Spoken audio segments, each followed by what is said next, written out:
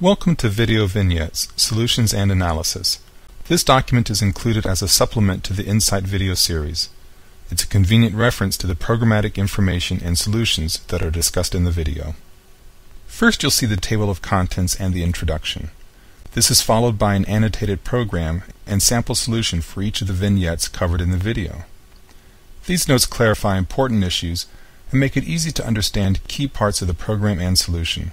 Additionally, for three of the vignettes, we've included a second sample solution not shown in the video, so you can see an alternate way of solving these vignettes successfully.